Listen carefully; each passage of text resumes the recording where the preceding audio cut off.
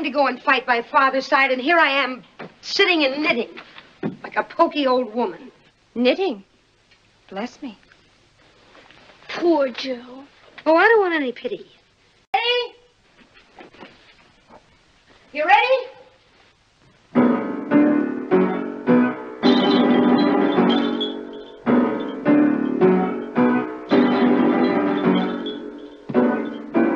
I'm Hilda. I come in, and with wicked intentions I say, ha! And I come closer. Ha! Ha! Come and get your tea, girls. Don't we ever have coffee anymore? Coffee is scarce and dear. Ships are needed in the war. They've no time to go to Brazil. It's all ridiculous. You're on fire. Fire! Oh.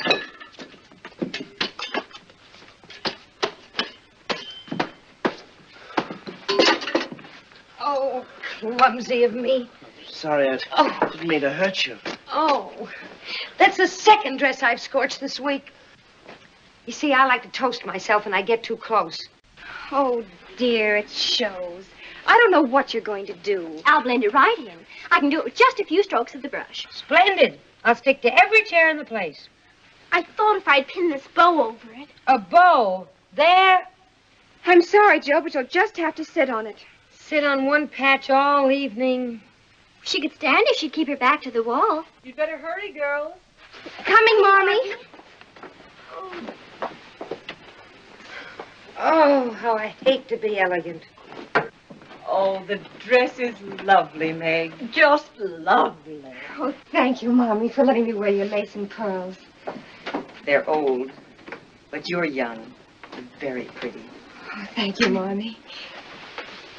Amy, you're perfect. Oh, thank you, Mommy. And Bethy. Isn't she the pretty one? Mommy, do I really have to go? There'll be all those people. Oh, it would hurt Laurie's feelings if you stayed at home, and he's been so kind. Besides, dear Beth, you must learn not to be afraid of people. All right, Mommy.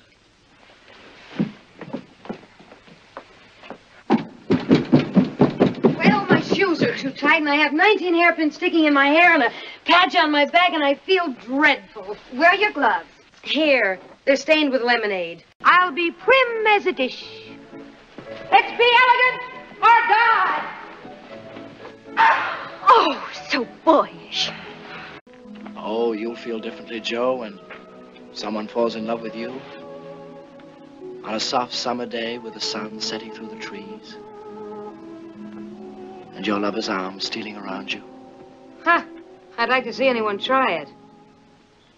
Would you?